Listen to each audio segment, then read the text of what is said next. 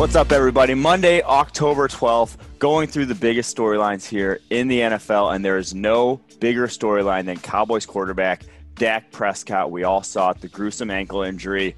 Thankfully, diagnosis is saying that won't be a long-term career-threatening injury, but he will be gone the rest of the season. Surgery went successful, but let's turn our attention to the Cowboys. Sally, are they legitimate contenders? Can they compete in the NFC East and the NFC with Andy Dalton at quarterback? Yeah, we already know they can win the NFC East. You know, Andy Dalton has won division titles before. Um, and I think he showed it when he came into the game yesterday. He was able to get him into the end zone. He was able to go three for three on that final drive uh, to Michael, or excuse me, to uh, to Amari Cooper, and then getting the ball over to the talented receiver Michael Gallup just showed out. But I think Dalton has proven that they have security at the quarterback position. I think defensively, I'm not feeling good at all about this Dallas Cowboy defense going up against the Giants offense that couldn't score touchdowns in their previous two games, and they scored three against the Cowboys defense yesterday. This Cowboys defense giving up more points per game than any other team in the league. And so that's where my biggest concern is not at the quarterback position. Yeah, I think there's different answers. Can they compete in the NFC East? Yes. Uh, seven and nine might win that division. Um, but I don't have much confidence in them competing in the NFC anymore on a larger scale.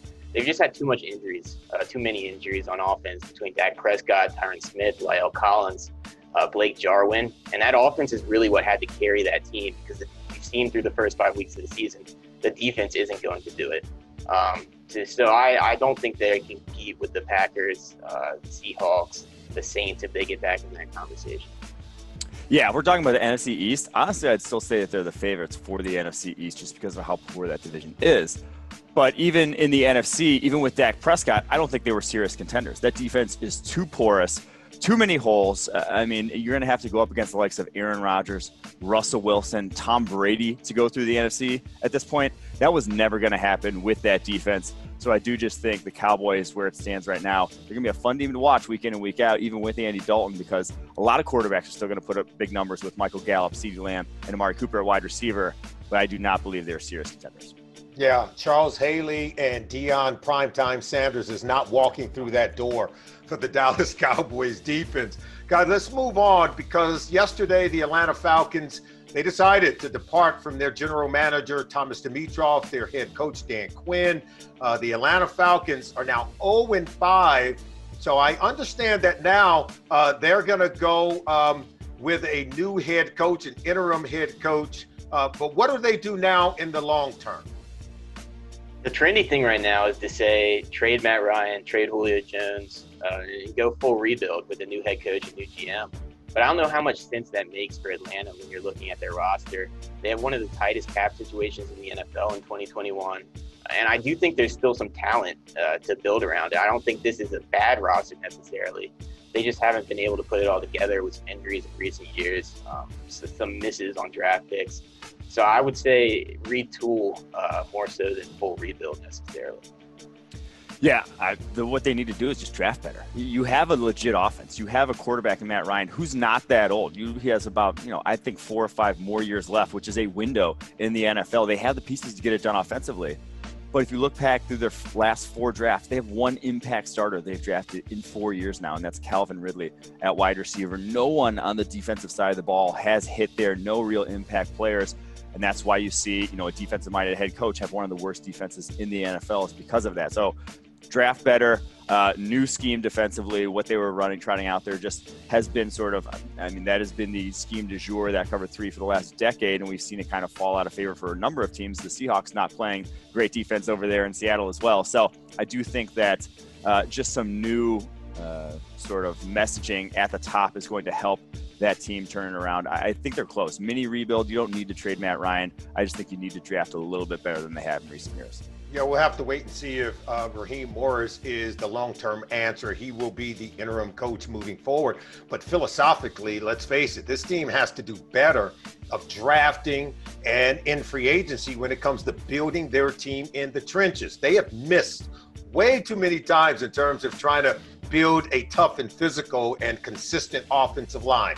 They have missed in free agency at signing edge rushers and only whiffing and spending money on the wrong player at the wrong time. So clearly, the general manager and head coach have to be in lock sync in terms of what they're going to do, in terms of building this team in the trenches. They've got to be more mentally tough when it comes to getting off to these slow starts each of the last three seasons and their inability to close out football games. So I just gave you several boxes they're going to have to check when it comes to looking for their next general manager and head coach.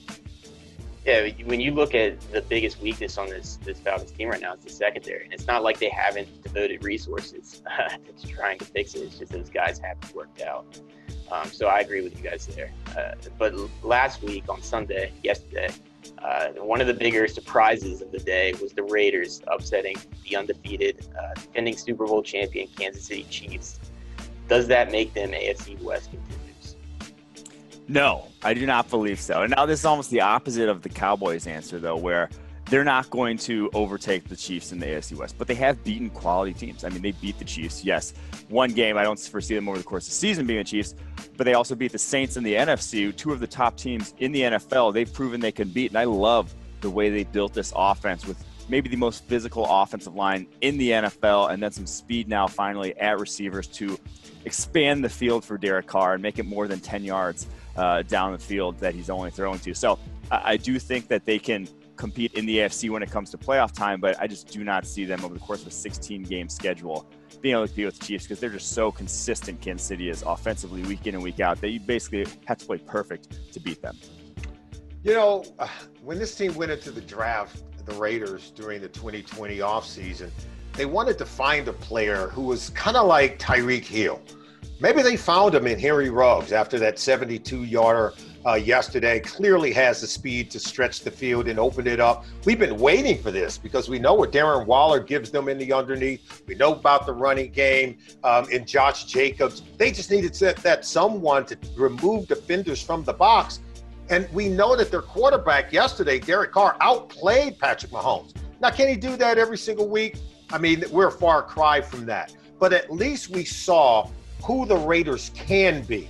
And so, if the question is, are they legitimate contenders? Absolutely. They scored 40 points against uh, the Kansas City Chiefs at Arrowhead Stadium. Um, and I think that was significant. The fact that they went out there looking for a shootout against the Chiefs and they were able to outscore them. And so the defense got after Patrick Mahomes. I think the Raiders showed us exactly who they can be. Right now, they're scoring more points per game than the Kansas City Chiefs are on offense. So I'm going to say yes. I think they are a legitimate contender. Now they just got to show us some consistency. I don't know if I can say legitimate contender in the AFC West. I still think that's the Chiefs' division to lose. But the big takeaway from yesterday was they did exactly what everyone has been asking them to do, which is push the ball downfield. Henry Ruggs, Nelson Agholor were getting open, like you guys said, and Derek Carr was hitting them. Um, and he's shown that he can hit uh, receivers downfield. They just don't do a ton of that. Um, so, so I think if that continues, it makes them more of a serious contender. And I do think they're definitely in that AFC wildcard conversation. Uh, but this is still the Chiefs' division to lose. You want to get rid of me and get back to more great PFF YouTube content? All you have to do is push that button right there and subscribe. Thanks for watching.